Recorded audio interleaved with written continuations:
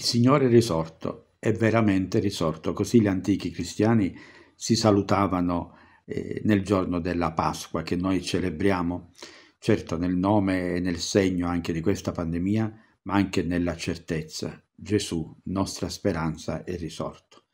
Il modo abituale con cui celebriamo la Pasqua è quello naturalmente di eh, chiedere al Signore la gioia, la pace, la speranza, la serenità, la salute e la sicurezza del futuro. E così i Vangeli certo ci hanno eh, ci guidano in questa chiave di lettura, pensiamo al capitolo al Vangelo di Giovanni che leggiamo nel giorno di Pasqua, capitolo 20, e poi quello della sera di Luca, il famoso episodio della eh, cena di Emmaus. Giovanni sembra quasi rileggere con la prima comunità dei credenti questa certezza la Pasqua è come una liturgia.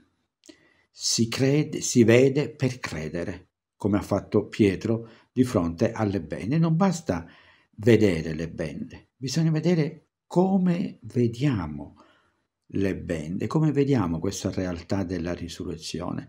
È il famoso brano della cena di Emmaus, che gli esegeti ci dicono di leggere in quattro eh, in quattro fasi, gli attori sconsolati vanno via da Gerusalemme, la dichiarazione dei discepoli, credevamo che fosse lui, eppure eh, le donne sono venute certo a dirci che era risorto, ma non è successo nulla, la lettura di Gesù dell'episodio e poi il riconoscimento nella scrittura eh, Gesù annuncia loro tutto quanto si riferiva a lui e nello spezzare il pane.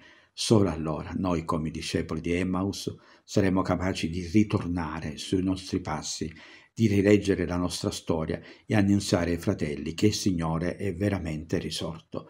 Mi piace anche dare un'altra mm, chiave di lettura della eh, risurrezione, forse un po' anticonformista, non lo so, ma credo eh, nella linea evangelica. E si tratta di due particolari. Il Vangelo di Giovanni che abbiamo ora ascoltato, quando Maria di Magdala dice ai discepoli, hanno portato via il Signore dal sepolcro e non sappiamo dove l'hanno portato. E poi quello che i capi dei mm, giudei dicono alle guardie quando gli dicono che eh, la pietra era stata arrotolata. Dichiarate, i suoi discepoli sono venuti di notte, l'hanno rubato mentre noi dormivamo. Ecco, la Pasqua la possiamo leggere anche in questa eh, maniera.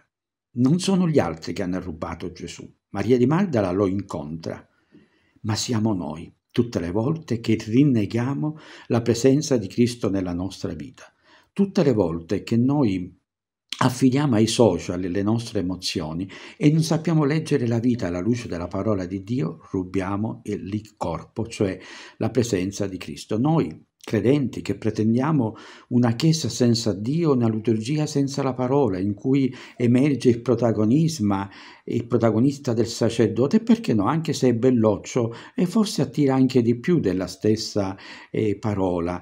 E l'esempio dei santi che la Chiesa ci propone, Carla Cutis, certo questo giovane protettore dei social, ma poi abbiamo fatto la beatificazione tutta in messa gregoriano, abbiamo tirato fuori il cuore per portarlo in giro come si faceva nel Medioevo, oppure Rosario Livatino che diceva che non bisogna essere soltanto credenti ma credibili. Ed è triste vedere le dispute su dove collocare le reliquie che per il momento rimarranno nel cimitero, eh, questa contesa fra la diocesi e la città di Canicattì. Ecco, una morale ridotta a moralismo, Fa più scandalo in Italia due persone che si baciano in una stazione e vengono picchiate che non la violenza sulle donne, la violenza sui minori. In un paese del genere, ha detto qualcuno, non c'è futuro per nessuno. C'è qualche laico allora che ci richiama. Poi vediamo il giudice Gratteri che ha scritto per Famiglia Cristiana che Pasqua per noi può rappresentare questo uscire fuori dalla zona grigia. Ecco, Pasqua chiamare le cose con il proprio nome, che perché, come ci insegnava il grande cardinale Pappalardo, l'omertà non è un'attitudine dei cristiani.